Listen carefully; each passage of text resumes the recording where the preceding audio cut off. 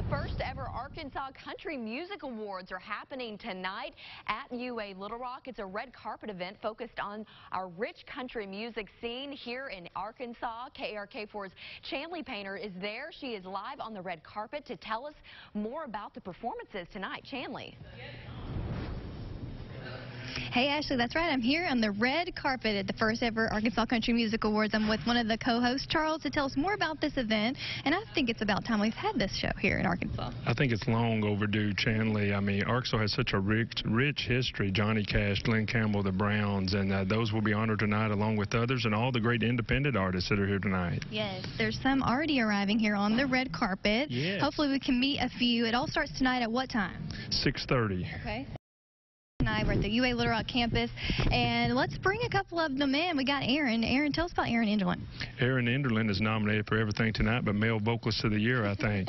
She's got the most nominations. She's up for seven awards. She's had, as a songwriter, she's had songs recorded by Luke Bryan, Alan Jackson, Lee Ann Womack, Randy Travis.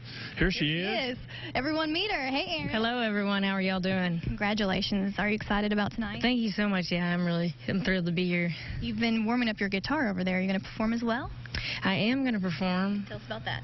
Uh, I'm going to be playing a song called Ain't It Just Like a Cowboy, which is off my latest record. Wow. And uh, it's one of my favorite songs. Yeah. Did a music video for it last year. All the good stuff. What's it like to have people like Luke Bryan and Randy Travis singing your song? Well, I mean, it's pretty amazing. It's great um, because a lot of those folks, you know, they can write their own songs too. So it means a lot coming from another writer that they connected with something I wrote enough to Yeah. want of it. Well, congratulations. It's an honor to meet you, and best of luck tonight. Oh, likewise. Most nominations. Surely you're going to come up Thank with a you. handful of awards I, I was just tonight. building a new new uh, shelf for him at home. Perfect, perfect. All right, well, we also have, I think, running on empty. Phil, come on in here. We'll just have a quick say hello. We'll send it back to you, Ashley. Are you excited tonight?